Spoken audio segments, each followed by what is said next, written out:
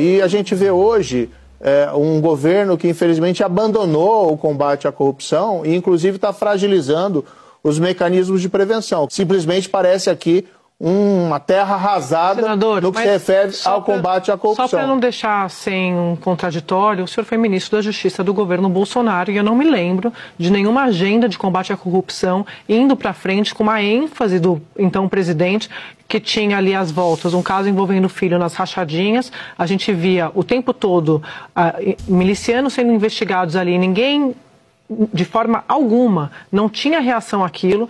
A gente tem hoje o partido do presidente discutindo liberar a bancada na Câmara dos Deputados para votar, para derrubar a prisão de um acusado, apontado pela Polícia Federal como mandante do assassinato de uma vereadora, estou falando da Marielle Franco, só porque o senhor falou também de repercussão internacional, e o senhor foi ministro da Justiça do governo Bolsonaro e saiu do governo Bolsonaro, eu me lembro muito bem, porque o senhor não conseguia na, na, versão do senhor, dar sequência ao projeto que o senhor achava que seria interessante para o país. E aí, aqui, só para finalizar o meu comentário, o senhor tinha colocado como condicionante o Ministério da Justiça com o Banco, o COAF, debaixo do guarda-chuva do Ministério da Justiça e perdeu na largada. Porque, por uma movimentação da base do Bolsonaro, junto com o governo, eles tiraram o COAF do guarda-chuva do senhor. Então, não dá para falar que o, o governo Bolsonaro, você está falando como se tivesse tido uma mudança muito enfática. De um, primeiro que o governo Lula, no primeiro ano, ficou às voltas com uma tentativa de golpe de Estado.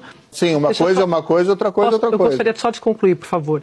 No primeiro ano do governo Lula, eles estavam às voltas com a tentativa de golpe de Estado um golpe de Estado que, segundo as investigações da polícia, que o senhor já comandou como ministro da Justiça, e eu sei que o senhor tem essa visão de autonomia da PF, porque o senhor saiu, inclusive, porque estavam tentando trocar o diretor-geral da PF que o senhor tinha colocado, Maurício Valeix. Então, o senhor sabe a importância que tem a autonomia da Polícia Federal.